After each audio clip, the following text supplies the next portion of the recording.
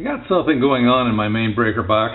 I've been smelling ozone and hearing a buzz, and for a while I'd convinced myself it was the neighbors because we share this wall. And now I've done a little bit of research and I'm not so convinced. Uh, I think I've got a bad breaker. I've called my friend who's an electrician and he's going to bring some stuff over, but uh, let me show you what I did to determine that I think I've got a bad breaker. So what I've done is I've taken this piece of tubing and put one ear one end near my ear and the other I've put near each one of these breakers and the sound was coming from somewhere in here. I didn't have to do all of them.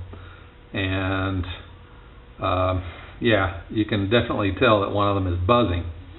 So uh, that's not good. Now, I do have some of these, like uh, some of these specialized ones, these uh, circuit interrupters, GFIs or uh, ground fault circuit breaker types, and they will buzz when they're in operation, but mm, they have a different type of buzz. And the buzzing sound was coming from in here, so put the tube here, and then I put the other end near my ear, and just went over each one of these in this area. So let me see if I can capture this with a camera. The camera can pick it up, and uh, you can see what I was doing. So I'll put the tube near the microphone.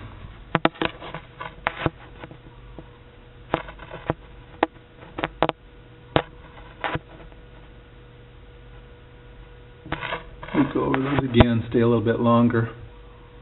Here's number 11, number 10, number 9. These are all around the master bathroom. 24, 25, listen over here, 26. Now,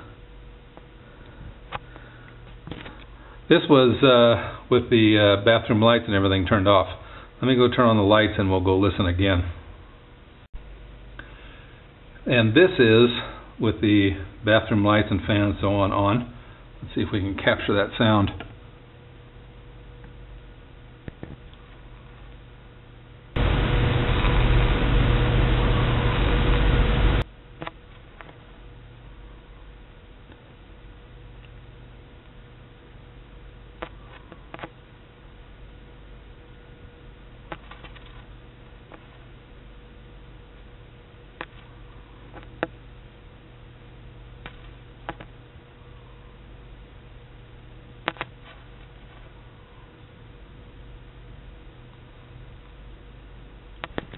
To me, it sounds like number 11's gone.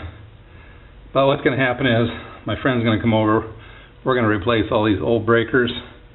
And yeah, I don't recommend doing this as a DIY project. But uh, yeah, and with what my friend gets a price break on breakers and what he charges me, the difference is so small it's not worth me uh, me messing with and just let an electrician, a pro, do it. Well, the story doesn't end like I thought. Uh, and this is why you hire a professional electrician. Let me show you. Can you see back in here? The wire was loose and arcing. So it wasn't a bad breaker. It was the wire had not been tightened by the last electrician. So being a really uh, good guy that this electrician is, he said, I'll just charge you for the loose wire. And I said, no, let's go ahead and replace them. So we got rid of all the 20 to 30 year old breakers and now we're up to date. Okay, well, that was the twist and the tale.